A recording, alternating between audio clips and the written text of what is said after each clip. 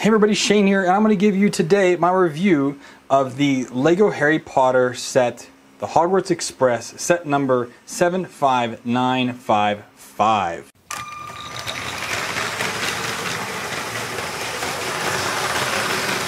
Now this is the third time that LEGO has released a Hogwarts Express. I've never gotten into them before, but I decided now because I like this one so much, I was going to go ahead and get this one.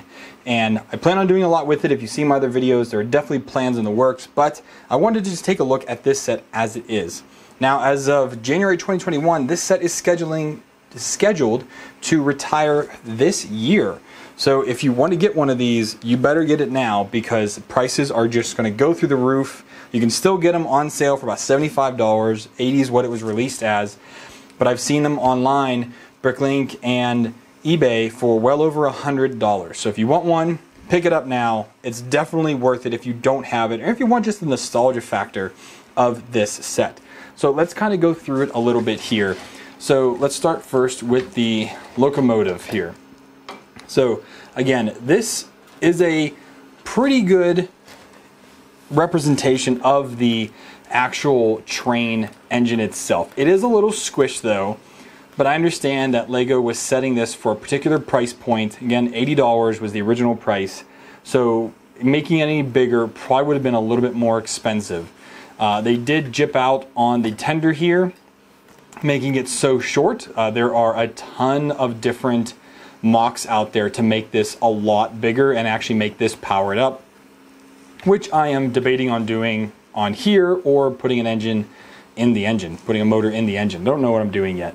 But you've got the Hogwarts Castle, you've got the number here, Hogwarts uh, Railway right here, which is pretty cool, and that's all identical on both sides of the engine. Um, the bars, the way they have the connecting rod here is pretty, I mean, it's simple. It would be nice if this was better, if more of these wheels were interconnected, and then there was another connecting rod up here to the front that actually floated, which a lot of people have done in their builds. So I wish that was a little bit different, but I mean, it's really not that bad. Uh, see, my kids put one of the, uh, uh, the lady that gives them the food on the in the rail car. they put her in here driving. Um, but yeah, I mean the things. It looks pretty cool. This light should be down here, uh, not up top. I don't think there was a light on top for that one. But I mean, I love the the nose cone of this engine as well. The boiler there. The way that this was built was super ingenious. I'm not huge into the train scene yet. I'm getting there. But I mean, I think the way this was built in three parts was just absolutely very cool of a way to build it. Um, I loved the, having that. Like I said, the tender now. It has a little kind of like hatch here that you can put stuff in if you want. Uh, it would have been nice to have just some one by one studs, black studs on here just to simulate having coal up there because this is a coal engine. So it would have been cool to see that, but it didn't. Bars on here, some nice details. Again, you can fit a minifig in there without a problem. And inside there, if I pull her out if I can, uh, they do have some fire in there, which is pretty cool. That's a neat little accent. And those actually, that fire is like the feathers from the 90s, from like the knights used to put in their helmets. So I thought that was uh, a pretty nifty little build technique they put in there. I really don't like the connecting rods they did here. These are just Technic pins with a, uh, a three hole, one by three hole Technic connecting rod there. That's how the whole thing is. I wish they would have used magnetic buffers, uh, but they didn't. So I mean, it is what it is, but the, definitely when I rebuild this, I'm going to change that out 100%. But overall, again, I really do like this. I'm not as critical as some other people are of this, but I thought this was a really, really cool steam engine. My first, well, I guess second one technically, but I love the color. It's not accurate. I know it should be a darker red, but I still think it's pretty cool looking without the tender there. Little squished, but it's pretty cool. Now let's take a look at one of the passenger cars and my kids went ahead and put a bunch of the characters in there. So after this is built, uh, the top here just completely comes off and this side comes off. So playability of this is really good, honestly. They've got some suitcases that are in here.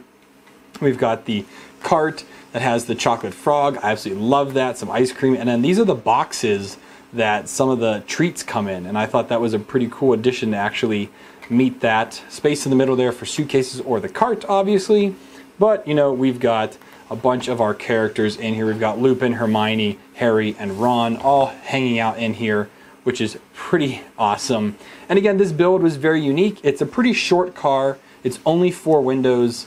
Uh, a lot of people that have rebuilt this have done five or six windows, which is what I'm planning on doing, but you have to double that because you have two sides. So it takes quite a lot of windows to do. These windows do open if you want, which isn't bad, but I like the, the red here with the gold stripe going through there, those gold bricks, does look great. I do wish that there were doors or at least these were closed, like this is completely open in here, which again, they're going for a price point here. Uh, I do think, but a little bit more could have been done to make it. Um, these really dark bluish, dark gray tiles. This is a very weird gray color. It's not regular dark bluish gray, uh, or maybe it is just dark bluish gray, but I don't know. I'm not a fan of the color. Uh, I think that definitely could have been uh, maybe uh, something else. Again, not really loving that color. And again, at the bottom, these should have two wheels on each side, which I'll be doing because it just looks a little bit small uh, in the grand scheme of things. And it looks, again, squished kind of like the engine was. And it just, it would be a lot nicer if it was just a little bit bigger with some extra wheels under here. I think that would look better. And again, since I did get multiple sets, I have another car here. I just put it together as stock for now, just again, so the kids could play with it around the track and they already have it filled up with a bunch of extra people from our other sets, which is pretty hilarious. So there's a lot of people in here and clearly my kids are playing with this and having fun. And that's, I mean, really what matters. I, I want to build them a little bit differently, but for right now, the kids honestly don't care. They just want to play with the trains. uh, but yeah, so they all easily connect together. They've got these fake buffers on here. But once they're all together, it does make for a decent train, having multiple cars and everything there. So not too bad. So again, overall, I really do wish that there was a few differences, a little bit longer, the tender was a little bit bigger, these cars were bigger, but again, that would have been like $100, $120 set. You know, would it have been as popular? I don't know. Really, it's only the train aficionados that are complaining about the size of it. Everyone else is just enjoying it because this is the best looking Hogwarts Express train that LEGO has put out to date. This also comes with the platform 9 and 3 quarters station, which I showed in a previous video of how I modified that with two sets. But again, loved that, the way platform 9 and 3 quarters actually works. Um, it's not really the focus of this set in my opinion. I think the engine is, but hey, it looks great. Again, if you want to get one, you better do it now. Uh, again, I picked up a few extra ones just so I could build more of these and modify them.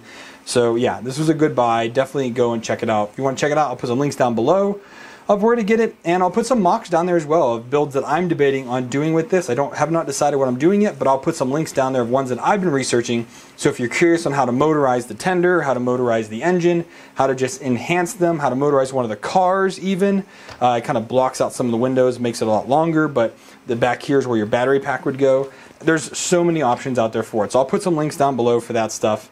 And yeah, so happy building everybody. Thanks for joining me, and I'll see y'all next time.